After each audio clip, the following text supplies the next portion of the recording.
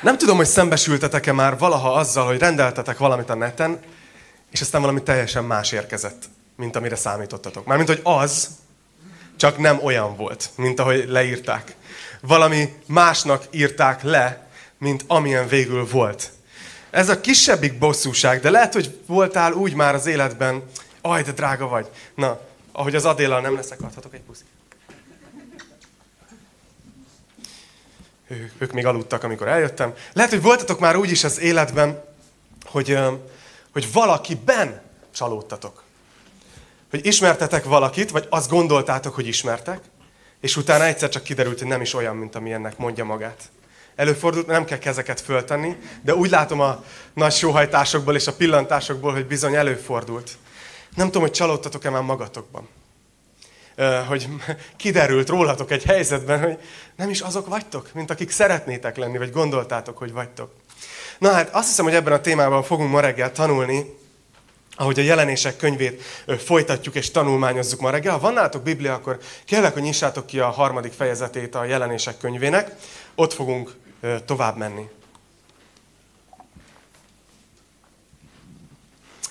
Ugye Ebben a gyülekezetben, ha újak vagytok, akkor jó, ha tudjátok, hogy fejezetről fejezetre tanulmányozunk egy-egy könyvet a Bibliából. Ez azért van, hogy ne csak így kicsipegessem a kedvenc témáimat, amiről szeretek beszélni, meg a kedvenc igerészeimet, hanem hogy mindent, ami a Bibliában van, sorba, alaposan próbálok tanítani, hogy megerősödjetek, és ne legyetek pásztorfüggők. Jó? Úgyhogy ma a jelenések könyvét folytatjuk, és eddig az első két fejezetet tanulmányoztuk át, egy rövid összefoglaló, hogy mi történt eddig. Jézus megjelent János apostolnak Pátmos szigetén, ahol János apostol ekkor már idős korában, 90 évesen körülbelül számüzetésben volt, és azt látjuk, hogy Jézus egy látomásból megjelenik neki, és János az így teljesen kész van, nem számított rá, hogy találkozik ilyen formában Jézussal, de Jézus ad egy feladatot, és ad egy, ad egy kijelentést Jánosnak, és a feladata, hogy írjon egy levelet. Tehát a jelenések könyve az igazából egy levél, hogy írjon meg egy levelet hét gyülekezetnek, amik a, amelyek a kis-ázsiai tartomány területén éltek akkor és működtek. És ebből már négyet megnéztünk, és ma következik az ötödik levél, a szárdiszi levél, és ez a jelenések háromnak az első versében kezdődik, úgyhogy onnan kezdem is. Most legelőször csak az első félmondatot olvasom fel, ami így szól. A szárdiszi gyülekezet angyalának írd meg. Jézus az, aki ezt a levelet fogja küldeni, a gyülekezetnek, ami Szárdisz városában volt. De akkor tudjuk igazán megérteni ezt a levelet, hogyha egy kicsit tudjuk, hogy milyen volt Szárdisz, milyen város volt, és hogy miért, miért van ott néhány párhuzam utána a levélben. Úgyhogy egy kicsit hagy meséljek nektek Szárdisz városáról.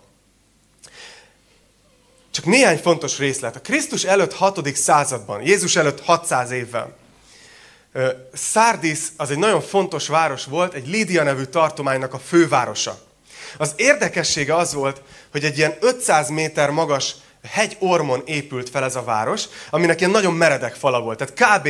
bevehetetlen volt ez a város, mert olyan meredek volt, hogy, és olyan magasan volt, hogy tudjátok, bárki csak közelített, bármilyen ellenséges sereg, már messziről kilométerekre látták, fölkészültek, és ha oda is ért bármilyen ellenséges sereg, a meredek várfal miatt lehetetlen volt bevenni ezt a várost.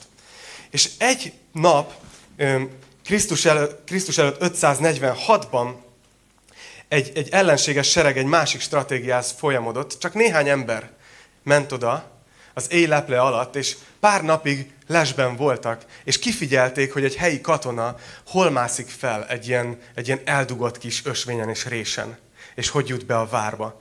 És utána a következő éjszaka, amikor az egész város aludt, és az őrök sehol nem voltak, mert elbizakodtak, mert tudták, hogy úgyse fogja soha bevenni a várost, ez a maroknyi katona bejutott a városba, és gyakorlatilag elfoglalták. Mert a őrök nem voltak a helyükön. Tehát érteni fogjuk, hogy miért beszél az éberségről ennek a gyülekezetnek Jézus. Mert ők nem voltak éberek. A történelemnek a bizarr fintora, hogy utána 300 év múlva újra megismétlődött ugyanez. Ugyanez. Megint kifigyelték, megint bement egy másik megint elfoglalták. És ez nem lett volna elég ennek a büszke városnak, Krisztus után 17-ben, tehát amikor Jézus tinédzser volt, akkor pedig egy földrengés döntötte romba Szárdis városát. És Tiberius császár ilyen nagyon nagy EU-s támogatást küldött. ilyen nem tudom hány milliárd forintnak megfelelő összeget, hogy újraépítsék a várost, és tényleg felépítették újra, és gondoskodtak róla, hogy elterjedjen a híre, hogy nincs semmi gond. Újjáépült, újjáépült Szárdis városa, minden rendben van, működik a város, él a város. Soha nem volt már mint, olyan, mint régen. Ez a város a múltjából élt, az emlékeiből élt. És talán így megértjük, hogy miért mondja Jézus azt, amit mond nekik. Nézzétek, így folytatja az első versben. Hogy a szárdiszi gyülekezet angyalának írd meg, ezt mondja az, akinél az Isten hét lelke és a hét csillag van. Tudok a cselekedeteidről, hogy az a neved, hogy élsz, pedig halott vagy. Hú.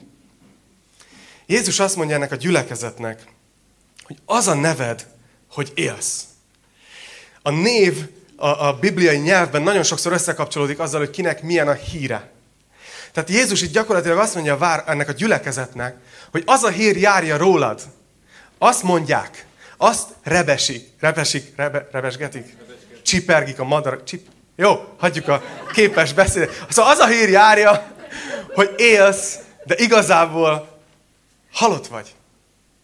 Azért ez milyen durva egy gyülekezetnek ezt hallani. Megtörténhet egyáltalán ez egy gyülekezettel? Az a helyzet, hogy a gyülekezet, és ha most vagy először életedben gyülekezetnek, ben akkor legalább tanulni fogsz arról, hogy mi a helyzet. A gyülekezet az olyan, amilyenek a tagjai. Annyira szeretem, amikor mondják, tudod, hogy ez a gyülekezet olyan, az a gyülekezet olyan, ez a gyülekezet miért ilyen, és akkor mondom, hogy de te is ide jársz, vagy te is bedobsz a közösbe. Tudod? Igazából olyan a gyülekezet, amit mi összehozunk. És Jakab apostol beszél arról, hogy van kétfajta hit. Jakab apostol beszél arról egy később egy levélben, hogy van élő hit, de van halott hit is. És ez döbbenetes, és erről csak azért kell beszélnünk, hogy mindenki úgy menjen utána ki ezen az ajtón ma délbe, hogy élő a hite. De jó, ha szembenézünk ezzel a témával. Olyan sokszor találkozok ezzel, amikor, amikor olyan emberekkel találkozok, akik mondjuk nem keresztények, vagy nem, nem, nem járnak gyülekezetbe, és hogy mondjuk, nem tudom, néha, amikor ilyen nagyon korán megyek a munkám miatt a repülőtérre, azok tipikus ilyen időszakok, mert az nem olyan, mint amikor normálisan fölülsz a BKV-re, és be tudsz jutni ugye a munkahelyedik, hogy senkihez nem szólsz egy kuka szót sem, hanem a taxisofőrök beszélgetnek. Tehát ugye, és ez nagyon jó így hajna ötkor teologizálni. Lényeg az, hogy nagyon hamar el szoktunk oda jutni, hogy mit, mivel foglalkozol, stb. Mondom, hogy lelkipásztor vagyok, és döbbenetes. Képzeljétek el, hogy amikor ezt kimondom, olyan, mint hogyha minden megváltozna. És az emberek így átváltanak egy másik üzemmódba, és elkezdik bizonygatni, hogy ők milyen jók. Komolyan! I- ilyeneket hallok, hogy, hogy, hogy én, én is meg vagyok keresztelve, megkereszteltettek a szüleim. Azt mondják, hogy én, én járatom a gyereket hittanra. Tudod? Így bizonygatja nekem, hogy ő, ő mennyire jól csinálja, hogy ő, ő jó ember. Kedvencem, hogy hát én nem vagyok ilyen templomba járós típus, de, de, de ha csak lehet, én mindenkivel jót teszek. Én mindig segítek. Mindenkinek bármi bajot látok, én adok, én nem sajnálom, én segítek. Én... És én mondom, tesó, hát te sokkal jobb ember vagy, mint én. Mekkora flash. Tudod? Az a helyzet, hogy az emberek azt gondolják, hogy a keresztények attól keresztények, mert jók. Aztán mások rájönnek, hogy nem jók, és akkor azt mondják, hogy na képmutatók. Azt mondják, hogy jók. És ehhez mi is hozzásegítettünk ehhez a képhez. De a lényeg az, hogy Isten szemében nem ezek a dolgok számítanak. A Bibliának az egyik alaptanítása, hogy Isten szemében nem a cselekedeteink tesznek minket elfogadhatóvá. Tehát, hogy teljesen más mérőrendszert használunk ilyenkor, mint amit Isten használ. Isten a szá- Jézus a szárdisziaknak azt mondja, hogy nézzetek, tudok a cselekedeteidről. Ezeknek a, ez a gyülekezet, ez egy jó gyüli volt. Voltak cselekedeteik. Jó cselekedeteik. Jó sok. Jézus azt mondja, hogy tudok róla. Tudok, hogy mennyit szolgáltok, mennyit csináltok, mennyit jótékonykodtok. Tudom.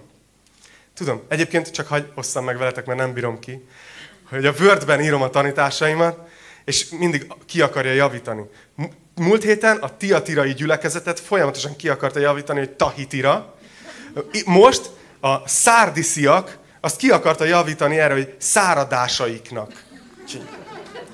Ez csak ilyen kis színes. De a lényeg, amiről beszélek. A szárdiszi gyülekezetben voltak jó cselekedetek. Ezek jó emberek voltak. De ami elfogadhatóvá tesz Isten szemében, az nem ez. Nem az üres, vallásos, szokásokon alapuló jó cselekedetek, hanem az élő hit. És úgy tűnik, hogy az az, ami hiányzott. Hogy bár voltak tetteik, de az egész egy kiüresedett vallásosság volt. Lehet, hogy az a száradás, amit a Word javasolt nekem, az nem is olyan rossz kifejezés. Hogy egy szárazság költözött a hívő életükbe. Már nem volt élet benne, mint amikor magatok elé képzeltek egy növényt, ami egész, egész nyáron virágzott és zöldelt, és télen ugye így elszárad, és nincs benne élet. Ilyen volt a szárdészi gyülekezet. És persze a cselekedetek, vagy nem cselekedetek kérdés, ha már jártál egy hónapot keresztény gyülekezetbe, akkor tudod, hogy ez egy állandóan egy téma, hogy akkor mi az, ami, mi az, ami a cselekedeteknek a szerepe az életünkben. És Jakab arról is beszél, és ez fontos megemlíteni, hogyha valaki csak beszél arról, hogy ő hisz, tehát, tehát szavaival kimondja, hogy én hiszek Jézusban, de utána ránézel az életére, és semmi változást nem generál ez. Abszolút semmi hatása nincs a cselekedeteire, akkor azt mondja, hogy az is egy halott hit. Az is egy halott hit. Mert ami igazán él, annak lesznek következményei. És ez fontos látni. De mégis a halott hit az nagyon veszélyes. És vissza akarok ide térni, hogy hogy történhetett ez meg. És azt hiszem, hogy van itt egy kulcs Jézus bemutatkozásában. Azt mondja a szárdiszi gyülekezetnek, ha megnézitek az első verset, hogy ezt mondja az, akinél az Isten hét lelke van. És lehet, hogy itt ülsz, és azt mondod, hogy hát arról már hallottam, hogy van egy lelke, a Szent Lélek, de hogy hét? Ne aggódjatok, a hét lélek, ez az Ézsaiás 11-re utal vissza, ne felejtsétek el a jelenéseknek a képes beszéde, az nagyon sokszor az ószövetségi gondolatokból merít. Otthon megnézhetitek az Ézsaiás 11-et, ahol leírja a Szent Léleknek, az Istenség harmadik személynek a, a hét tulajdonságát. Tehát amit itt kifejez Jézus ennek a gyülekezetnek, hogy ezt üzeni nektek az, akinél itt van a Szent Lélek teljessége. Vagy a Szent Szellem teljessége. Ne aggódjatok, mind a két fogalom ugyanazt jelenti. Szentlélek vagy Szent Szellem, különböző keresztények különböző néven nevezik őt, de ő ugyanaz a személy. És mi nem fogunk egymás torkának esni ezzel kapcsolatban, hogy ki hogy mondja. De ezt mondja Jézus, hogy ezt mondja nektek, akinél itt van a Szentlélek teljessége. Ez a gyülekezet, ez egy üres, élettelen, vallásos cselekedetekkel teli gyülekezet volt. Sok mindent tettek, de úgy tűnik, hogy nem ismerték a szent lelket. Hogy max elméletben tudtak róla, hogy van olyan, hogy Szentlélek. De nem volt nekik ez egy mindennapos tapasztalás, hogy kicsoda a Szentlélek, és hogy hogyan lehet ő vele járni. Hogyan lehet ő vele barátságban élni, és az ő vezetése alatt lenni. Lélekben járni. Nekünk az az elhívásunk keresztényként, arra vagyunk elhívva, hogy az életünket ne úgy éljük, hogy megpróbálunk minden nap nagyon jó életet élni, és ez kösse le a figyelmünket. A mi elhívásunk keresztényként az, hogy újra és újra és újra betöltsön minket a Szent Lélek. Hogy leszálljon ránk, átítasson minket, és ezért Isten élje rajtunk keresztül az életét. Értitek ezt? Hogy mi valahogy részt vegyünk Istennek az életébe. Ne egy ilyen görcsös erőfeszítés legyen, nagyon csinálom a jót, nagyon csinálom a jót, hanem hogy ez a, ez a különleges és titokzatos isteni lény, a Szentlélek betöltsön és áthasson minket. És tudjátok, hogy miért gondolom, hogy, hogy a Szentlélekkel volt gondja a szárdiszi gyülekezetnek? Mert Jézus úgy mutatkozik be nekik, hogy ezt mondja nektek, aki a, akinél a hét lélek van, a lélek teljessége, és a másik az, hogy a Biblia beszél arról, hogy a Szentlélek az, ami a keresztény életet megtölti élettel. Azt mondja a 2 Korintus 3.6 Istenről, hogy ő tett minket alkalmassá arra, hogy az új szövetség szolgái legyünk. Nem a betűjé, hanem a léleké. Mert a betű megöl, a lélek pedig megelevenít.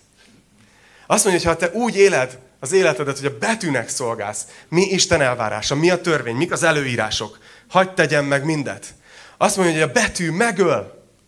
A törvény ki fog végezni téged, mert nem tudod betölteni. És ezért folyamatosan úgy fogod érezni, hogy nem vagy elég jó. De azt mondja, hogy ha a lélekben vagy, ha a léleknek szolgálsz, akkor a lélek élettel tölti meg az életedet. Megelevenít. Ugye a korábbi hetekben beszéltem arról, hogy ezeket a leveleket több szinten lehet értelmezni. És van egy ilyen személyes vetülete, van a konkrét helyi gyülekezet, aminek szólt. Minden gyülekezet is tanulhat mindegyik levélből. De van egy történelmi, egyház történeti vonatkozása is. És beszéltem arról, hogy az előző gyülekezet, Tiatira, a középköri egyházat jelképezte, ugye az 1500-as évekig. És azt gondolom, hogy a szárdiszi gyülekezet az pedig a reformáció során létrejött irányzatnak a, a képe, profétikusan. A reformáció az egy nagyon, nagyon érdekes időszak volt az egyház történetben. Nagyon nagy áttörések történtek, és a reformátorok, olyan emberek, mint Luther, Zwingli, Calvin, és még lehetne sorolni egy csomó nevet, bámulatos, bámulatos munkát végeztek.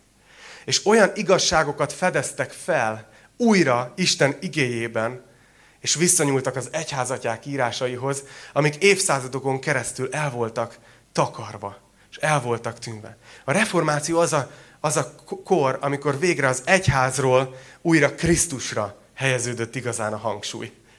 És ezért az egyik szólája a reformációnak, ugye volt öt ilyen megfogalmazás, hogy, hogy mi, mi, mi az, ami egyedül, ezt jelenti a szólás, az egyik a szólus Krisztus, ami azt mondja, hogy egyedül Krisztuson keresztül vezet az utunk az atyához. Nem az egyházon keresztül, hanem Krisztuson keresztül. Ki mondja azt, hogy egyedül hitáltal. Elmondja, hogy egyedül kegyelemből. Ott van a, a következő, hogy egyedül az ige az, ami a tekintély. Nem az egyház, nem az egyházi hagyomány, hanem az ige az, ami a tekintély az életünkbe. És elmondja azt az ötödik, hogy egyedül Istené mindezért a dicsőség. A reformátorok tényleg megreformálták az egész hitét a kereszténységnek. És létrejött egy nagyon új dolog. De ami viszont érdekes, és ugye tudjátok talán, hogy most, most hogy így pár éve próbálok lelkipásztorként szolgálni, úgy láttam, hogy ideje elvégeznem egy teológiát is, szóval most teológiára járok, és ebben a fél évben pont ezt a reformáció időszakot rengeteget olvastunk róla, és nagyon sok professzor egyetért abban, hogy bár ezek, bár ezek a reformátorok nagyon nagyszerű munkát végeztek, de mégis nagyon sok helyen elvérzett ez a mozgalom. Egyrészt ugye az akkori katolikus egyház részéről érkező nyomás miatt gyakorlatilag az életüket kellett menteni ez, ennek az új mozgalomnak. És ezért gyakorlatilag nem evangelizáltak, nem volt missziós tevékenységük. Nagyon hamar politikai mozgalommá vált. Ugye volt ez a megegyezés, hogy aki a föld, azé a vallás, aki azé a vallás, és ezért, ezért nagyon hamar egy ilyen politikai dolog lett, hogy egy egész ország egyszerre lett nagyon megreformált. Tudod, egyszerre hirtelen mindenki nagyon bízott Krisztusba, meg nagyon helyére került. Tehát persze, hogy nem így történt. Tehát egy ilyen névleges dologgá vált nagyon sok esetben és nagyon sok helyen ez az új hit is. És nagyon hamar politikai dolgokba is belekeveredtek. Calvin például. Minden tiszteletem egyébként, mert ahogy ír ő Krisztusról, a kegyelemről, amit ő felfedezett, az zseniális. Egyszerűen hihetetlenül mély belátása volt Istennek az üdv tervébe, és gyönyörű dolgokat ír. De egyébként simán kivégeztette azokat Genfben, akik nem értettek vele egyet bizonyos teológiai kérdésekbe. Szóval mi van? És utána gondolom hazament és írta tovább a gyönyörű értekezését a kegyelemről. Szóval, tehát, hogy a, a lényeg az, hogy ez csak egy jó kép arra, hogy tisztelhetjük az elődeinket, de tudnunk hogy ők is emberek voltak. És talán így megértitek azt is, hogy miért, miért írja Jézus ezt a szárdiszi levél, levelet a gyülekezetnek. Szóval térjünk is vissza a levére. Ugye Jézusnak az volt az ítélete a gyülekezetről, hogy halott vagy. Ez nagyon durva. Mit lehet kezdeni egy halottal?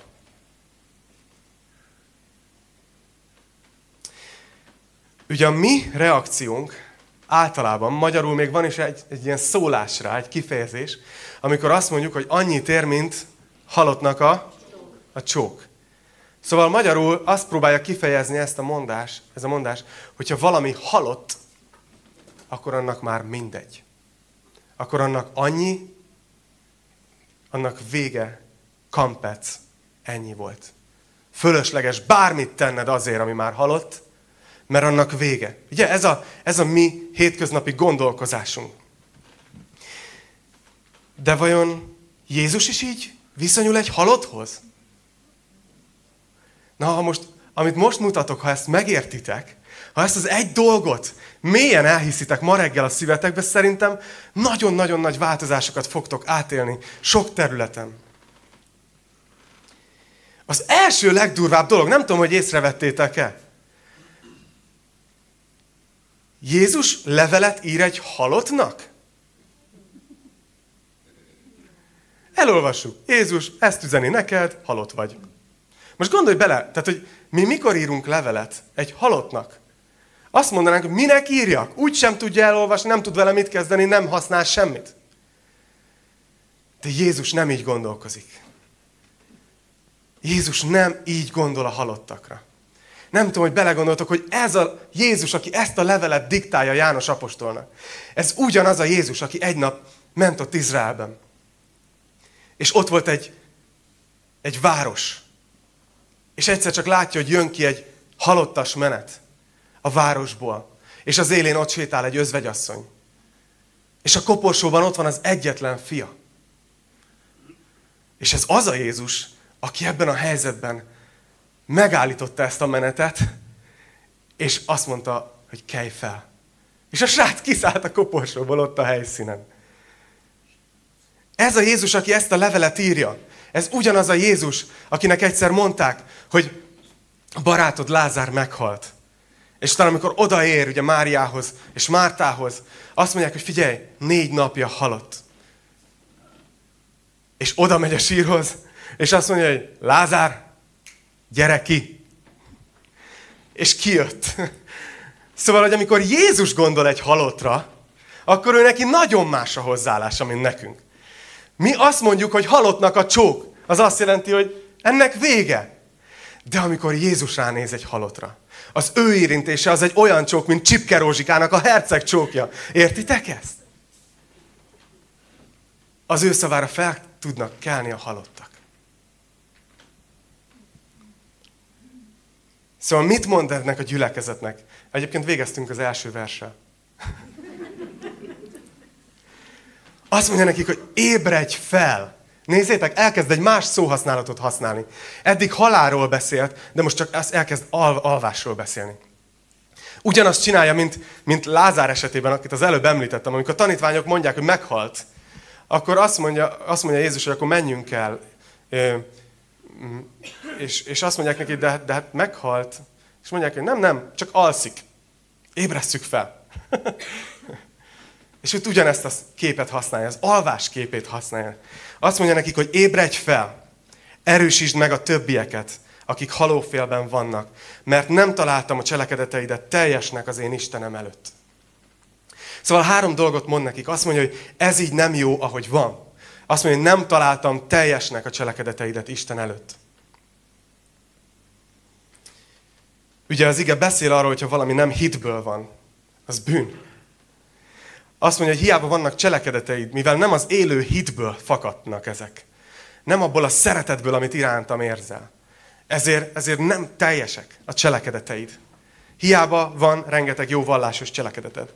A második dolog, hogy azt mondja nekik, hogy ébredj fel. És ez azért nagyon fontos, mert ez a halott, kiüresedett, lapos, csak a formáiban meglévő kereszténység ez a mai napig velünk van. Lehet, hogy van belőle ebben a teremben is. Nem baj, majd mindjárt föltámad. Isten úgy látom, hogy végzi folyamatosan az egész földön az ő ébresztő munkáját a keresztények között és az ő népe között. És ez nagyon fontos, hogy mi azok az emberek legyünk, akik, akik hiszünk abban, hogy Isten fel tudja ébreszteni azt, aki alszik. Még akkor is, ha mi azt gondoljuk róla, hogy az már halott.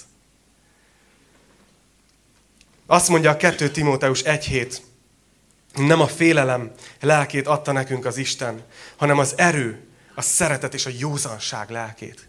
Ott van ez a szó, a józanság, amit úgy is mondhatnánk, hogy éberség. Valahol hasonló rokonértelmű szavakat írnak le. Nem tudom, hogy észrevettétek-e, hogy amikor mondjuk félálomba vagytok, vagy álomból ébresztenek fel, akkor nem vagytok éppen józanok. Vagy hát nem tudom, tisztelet a kivételnek. Te józan vagy, ha felébresztenek? Igen, teljesen tudom. Én, én vannak borzalmas tapasztalataim. Általában, amikor, amikor utazok, akkor utána, amikor hazaérek, akkor brutális mélyet alszok, és azt se tudom, hogy hol vagyok. Most, múlt héten, amikor hazajöttem Amerikából, akkor így éjszaka közepén egyszer csak el, azt, na, tehát elmondom, mi történt. És aztán én, hogy érzékeltem ezt.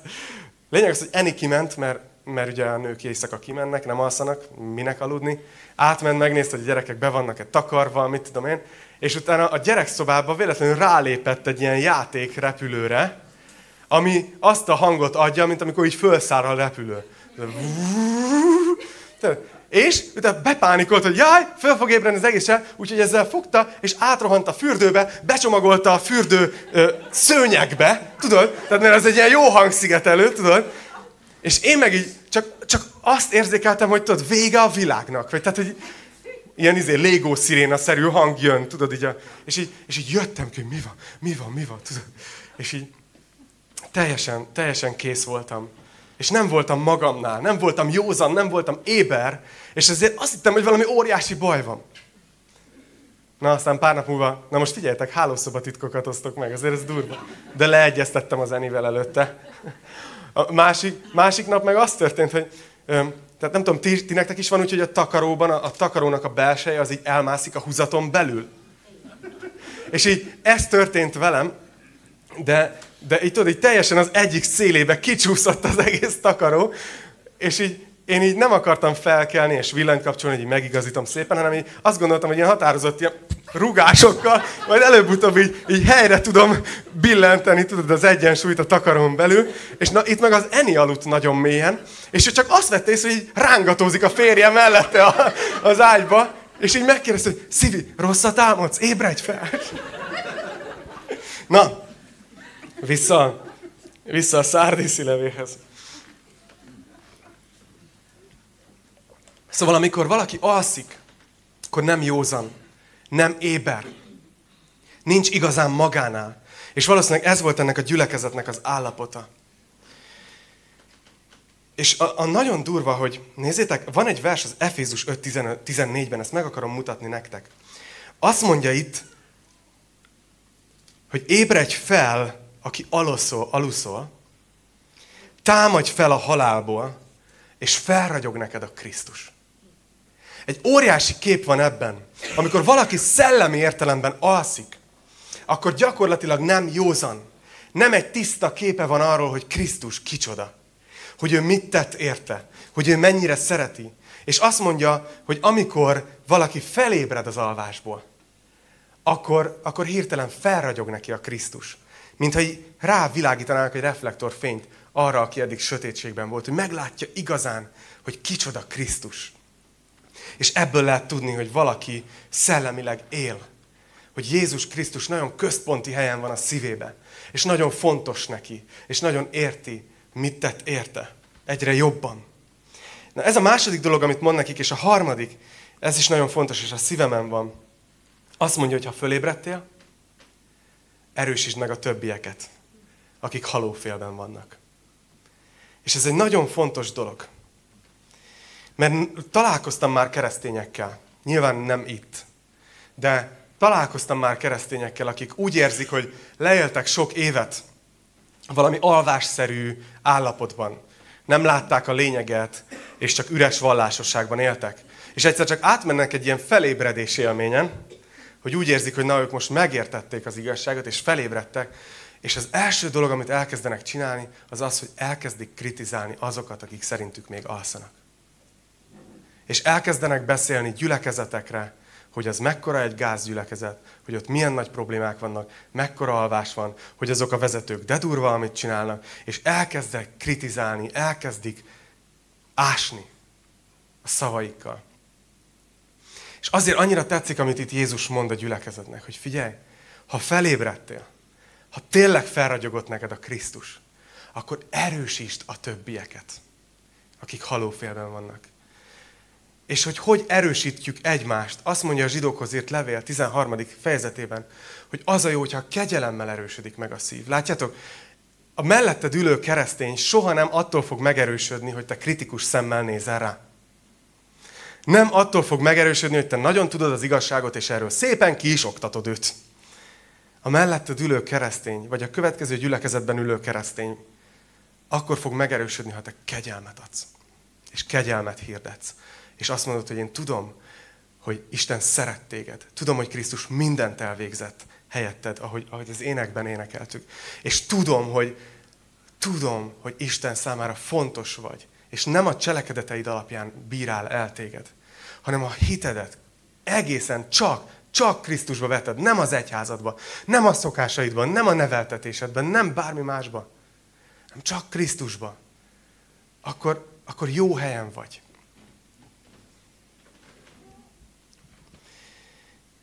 Ezért érdekes, nekem összefügg ez az egész. Kegyelem, szentlélek, éberség. Amikor a zsidó 10.29 a szentlélekről beszél, azt mondja, hogy a kegyelemnek a lelke. Nagyon-nagyon-nagyon fogjatok gyanút, hogyha valaki azt mondja, hogy ő neki a szentlélek azt mondta, hogy szúrjon le titeket. A lélek máshogy működik. Emlékezzél vissza. Harmadik vers. Hogyan kaptad és hallottad? Tartsd meg azt, és térj meg. Ha tehát nem ébredsz fel, eljövök, mint a tolvaj, és nem tudod, hogy melyik órában jövök el hozzád. Szóval Jézus, azt látjuk itt, ez most már a második gyülekezet, ahol Jézus megemlíti a visszajövetelét. Ez azt jelenti, hogy ez a második olyan irányzat a kereszténységben, ami megéri Krisztusnak az eljövetelét. És durva, hogy azt mondja ennek a gyülekezetnek, az ilyen halott, üres vallásosságnak, azt mondja Jézus, hogy ha nem térsz meg, és ez nagyon fontos, mert, mert az egész mögött az van, hogy Isten annyira szeretné, ha megtérnének. Annyira szeretné, hogyha fölélednének. Ugye Ninivének is azt mondta, hogy 40 nap és elpusztul a város. És elpusztult? Nem. Azért, mert megtértek. Isten alig várja, hogy megváltoztathassa az ítéletét. De azt mondja, hogy ha nem térsz meg, akkor viszont eljövök hozzád, mint egy tolvaj. És elgondolkoztam ezen, hogy mit jelent ez, hogy Jézus úgy jön ehhez a gyülekezethez, mint tolvaj. És arra gondoltam, hogy aki mondjuk mai életben valóságosan egy tolvaj. Nem kérem, hogy tegye föl a kezét. Van aki ezt betörtek már? Nézzük. Oké, okay, vagytok néhányan? Aki valahova betör, az ugyanúgy egy emberi lény. Ugyanúgy egy ember, aki valahova úgy megy be, hogy otthon van. Hogy van egy háza, valószínűleg van egy családja, vagy valakikkel él. Tehát a tolva is valahol otthon van. Attól válsz tolvajá, hogy egy olyan házba akarsz bemenni, ami nem a tied. Jézus azt mondja ennek a gyülekezetnek, hogy ha nem térsz meg, akkor úgy kell eljönnöm hozzád, mint egy tolvaj. Mert azzal, ahol te most tartasz, azzal az üres vallásossággal, az, a, a, abban én nem érzem otthon magam. Az nem az én házam. Azzal nem tudok mit kezdeni. Csak úgy tudok jönni hozzád, mint tolvaj. És nézzétek, azt mondja nekik, biztatásként, de vannak nálad néhányan szárdiszban, akik nem szennyezték be a ruhájukat, és fehér ruhában fognak járni velem együtt, mert méltók rá. Jézus elkezd beszélni arról, hogy van egy olyan csoport is, Szárdiszban, akik nem szennyezték be a ruhájukat, és fehér ruhában fognak járni velem egy, vele együtt, mert méltók rá. Mi ez a győztesek fehér ruhában kép? Ez már tényleg nagyon vallásosnak tűnik, nem? Szimbólum. A fehér ruha a tisztaságot jelképezi.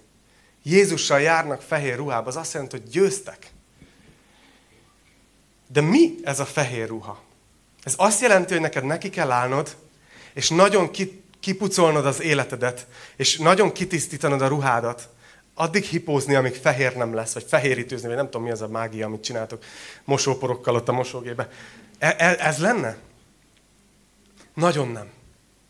Annyira nem, hogy képzeljétek el, azt mondja a Biblia, hogy ha mi ruhánkban akarnánk Isten elé menni, azt tudjátok milyen?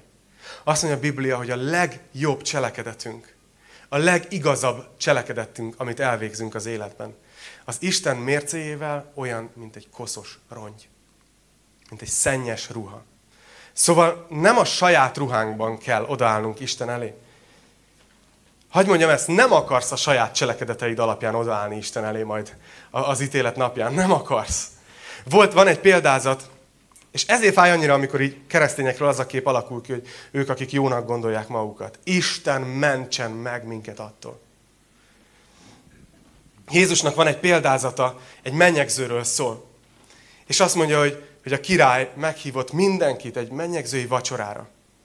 És utána megy végig a sorok között. Nézi a vendégeket végig. És talál ott valakit, aki nincsen mennyegzői ruha. És nagyon mérges lesz, és kidobatja a külső sötétségre. És lehet, hogy ez ilyen durvának tűnik, hogy miről szól ez a példázat? Amit tudnotok kell, hogy megértsük ezt, hogy akkoriban, aki küldött egy mennyegzői meghívót, az küldött mellé egy ünneplő ruhát is a vendégeknek. Hogy a vendégek szép, egységesen ünneplőbe öltözzenek. Igen, majd légy szíves, ezt írjátok fel a listára, akik így esküvő szervezésben vagytok. És ezért azt látjuk gyakorlatilag, hogy volt ott egy ember, aki úgy gondolta, hogy én nem veszem fel azt a ruhát, amit a vendéghívó küldött, hanem jó lesz a sajátom is. Ez annak az embernek a képe, aki úgy akar Isten elé állni, hogy Uram, te látod, milyen jót, jól próbáltam élni, hogy hittarra járattam a gyereket, hogy mennyiszer jártam gyülekezetbe, hogy adakoztam, szolgáltam, cák, cák, cák. És ez alapján akarsz odaállni Isten elé. Szennyes ruha. Szennyes ruha. Amit mond nekünk a Biblia, az az, hogy mi nem a saját jóságunk alapján fogunk Isten elé állni, hanem Krisztus igazsága az, amit mi fölveszünk magunkra. Az az a ruha, amit ő küldött el nekünk. Az ő tisztasága, az ő igazsága. Azt mondja az igaz, hogy Krisztust öltözzük fel. Ez elég fura, ha vizuálisan elképzelitek. De hogy Krisztus a mi öltöző ruhánk. Azt mondja az egyik dal, ugye szoktuk énekelni, hogy jön majd, és zengnek harsonák. Megismer majd, mert rám talált. És hogy folytatódik? Igazságába öltözöm. Nem, nem az én igazságomba, igazságába öltözöm, és megállok majd a trón előtt. Szóval látjátok, hogy erről szól ez. Azt mondja az ötödik vers, aki győz, azt öltöztetik fehér ruhába. Annak a nevét nem törlöm ki az élet könyvéből, hanem vallást teszek nevéről. Az én atyám előtt és angyalai előtt, akinek van füle, hallja meg, amit a lélek mond a gyülekezetnek. Szóval ez a levél így első olvasásra nagyon keménynek tűnik. Igaz? Halottak vagytok. Ha nem térsz meg, eljövök, mint egy tolvaj. Tudod, nagyon, nagyon kemény, de úgy érzem, hogy ez a levél tele van, tele van Isten kegyelmével. Tudjátok, miért mondom ezt? Utolsó gondolatként hagy meséljek erről az életkönyvéről egy kicsit nektek. Azt mondja, aki győz, annak nem törlöm ki a nevét az életkönyvéből. És rengeteg keresztény bepánikol, hogy vajon ott van-e még az én nevem az életkönyvébe. Az életkönyve abban a korban az akkori anyakönyv volt. Minden városnak volt egy könyve, ahol vezették az életben lévőket. Ezért volt az életkönyve. Valaki megszületett, akkor beírták, ha valaki meghalt, akkor kihúzták. Vagy ha valakit elzavartak a városból, kihúzták. Megvonták a polgárjogát. És azt látjuk itt, hogy Jézus szerint van, van Isten országában is egy életkönyve. Ugye ez azért fontos, mert arról beszélt a gyülekezetnek, hogy ti halottak vagytok. De nézzétek meg, ez itt nem logikus, ami ide van írva. És ezt most vettem észre, hogy tanulmányoztam ezt a levelet, ezt korábban így nem figyeltem meg. Hogy nézzétek meg Jézusnak a kegyelmes szívét. Azt mondja a gyülekezetről, hogy halottak. De még nem törölte ki a nevüket az életkönyvéből. Mert azt mondja, hogy ha megtérsz, akkor végleg nem is fogom kitörölni a neved. Mintha azt mondaná, hogy igen, lesznek, akiknek majd ki kell. De nem erről szól ez a vers, hanem arról, hogy itt van Jézus, halottakhoz beszél, és azt mondja nekik, hogy ott van még a nevetek az élet könyvében. Úgyhogy ébredjetek fel. Ébredjetek fel. Egy fontos, egymondatos részlet. Az életkönyve nem egyenlő semmilyen egyházi tag nyilvántartással. Szeretném megkérni a dicsőítő csapatot, hogy gyertek vissza, hogy néhány személyes gondolattal szeretném lezárni ezt a, ezt a mai üzenetet, ezt a mai tanítást. Szeretném egy kicsit személyesebbre venni ezt veletek ma reggel. Beszéltünk itt arról, hogy, hogy Krisztus hisz abban, hogy a halottak életre tudnak kelni. Ugye beszéltünk itt sok ilyen dologról. Azt vettem észre, hogy az emberek azt mondják, hogy halottnak a csók. Lemondunk nagyon könnyen egymásról. Lemondunk, figyeljetek, tudom, hogy ez most valakinek szólít. Nagyon könnyen lemondunk saját magunkról is sokszor. Ismerek olyan keresztényeket, akik azt gondolják, hogy olyan dolgokban vannak benne, hogy nekik már annyi, nekik már vége. Nagyon remélem, hogy érzitek ebből a levélből, hogy ez pokol mélyről származó hazugság, hogy vége. Mert Jézus az a herceg, aki ébrezgeti a csipkerózsikát. Tudjátok? És hogy föl fog ébredni.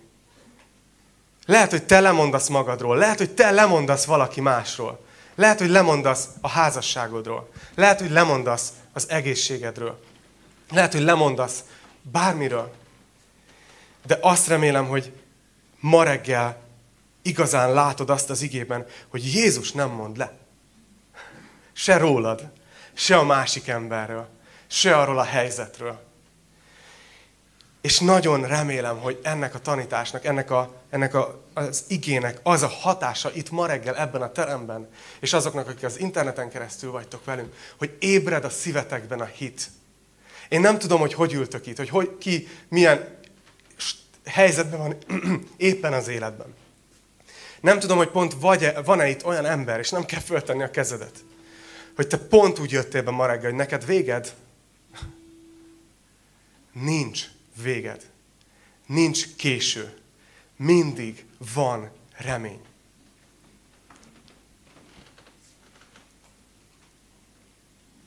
Hogyha ébred bennetek a hit ma reggel, ha erősödik a hitetek Istenben ma reggel, akkor hűségesen végeztem a dolgomat Isten igéjével. És a Szentlélek hűséges volt, és végezte a munkáját ma reggel. A lélek az, aki életet ad a halott vallásosságba is. A lélek az, aki megelevenít. Életet ad oda, ahol most halál van. Úgyhogy most szeretnék rátérni az úrvacsorára, és most, most ezen a héten egy kicsit másképp fogjuk csinálni, mert egyre többen vagyunk, és hallottuk, hogy nehezen ér körbe a tálca, úgyhogy arra kérnék, nem is tudom, hogy ki vagy ma, aki te fogod elindítani?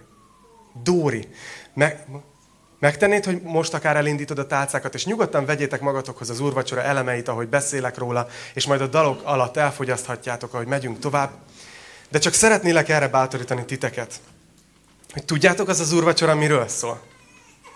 Az az úrvacsora arról szól, hogy valaki meghalt. Jézus meghalt azért, hogy mi az ő halálából életet kapjunk. Nincsen semmi oka, amiért bárkinek úgy kéne kimenni ma ezen az ajtón, amikor vége az Isten tiszteletnek, hogy, hogy, hogy halott a hite. Erősítsük egymást. Ez a kegyelemnek a tálcája, ami megy körbe.